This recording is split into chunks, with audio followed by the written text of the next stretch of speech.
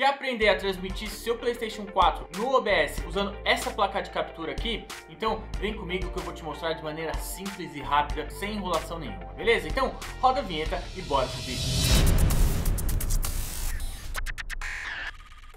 Fala pessoal, para quem não me conhece ainda, eu sou Rafael Casarim, sejam bem-vindos a mais um vídeo aqui do Studio Storm. Hoje, como já tinha dito na introdução, eu vou ensinar você a capturar o seu Playstation 4 usando essa belezinha aqui. Para quem não conhece essa placa de captura, é uma das mais baratas do mercado. E ó, tem já vídeo dela aqui falando pontos positivos e negativos, então depois assiste lá se tiver interesse. E ó, da maneira mais fácil para explicar para vocês, você vai pegar o seu HDMI que iria para a TV, vai conectar na entrada HDMI dessa placa de captura e USB você vai conectar no seu computador, beleza? Então, depois de ter feito isso, vamos direto para o PC que agora é só configurar lá no OBS sem muita enrolação.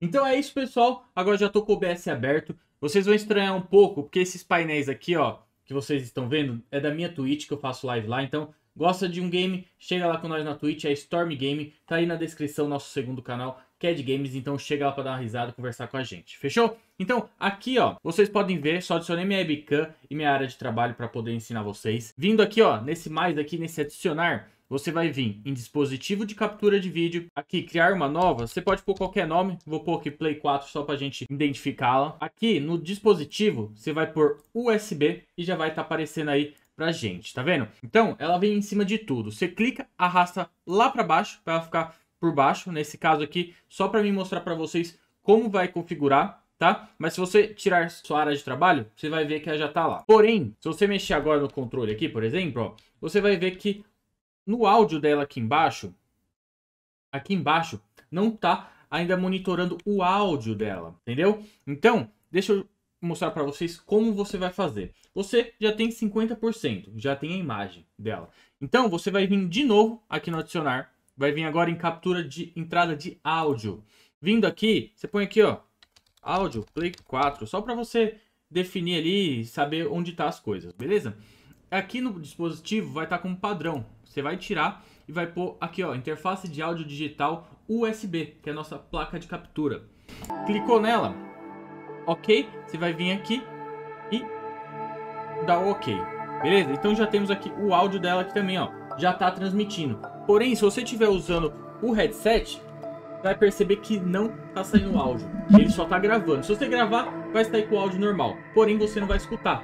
E jogar um jogo sem escutar é meio ruim. Então, o que, que você pode fazer nesse caso? Vem aqui na engrenagem, aqui ó, do nosso áudio que a gente adicionou por último. Clica aqui em propriedades de áudio avançadas. Vindo aqui, você vai encontrar aqui, ó, Audio Play 4, que foi o nome que a gente nomeou lá. Não monitorar. Aqui monitorar e enviar. Beleza. Agora eu vou tirar nosso OBS aqui, ó, só para vocês verem. Prontinho. Já tá gravando também o áudio e a imagem. Beleza, pessoal? Espero ter ajudado. E não esquece, já ia esquecendo aqui também, ó. Áudio do desktop deixa mutado, tá? Porque como você está monitorando, se você deixar o áudio do desktop ligado, vai duplicar o áudio. Então vai dar aquele famoso eco, tá? Então deixa mutado o desktop, usa somente o áudio do videogame e a imagem do videogame que é da placa de captura. Fechou? Se tiver alguma dúvida, deixa nos comentários, eu vou tentar ajudar todo mundo a resolver aí. E também se tiver alguma ideia de próximos vídeos, alguma coisa, comenta também. Não esquece, deixa o like, comenta e se inscreve que ajuda muito no crescimento do canal. Beleza? Então, vamos nessa, até o próximo vídeo. Fui!